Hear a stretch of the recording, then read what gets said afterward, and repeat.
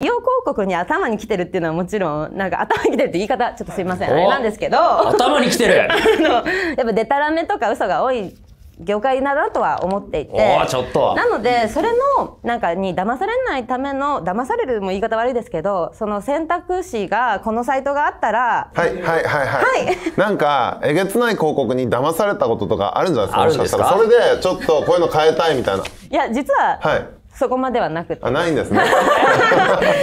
どちらかというと。何の実話ですか？すいません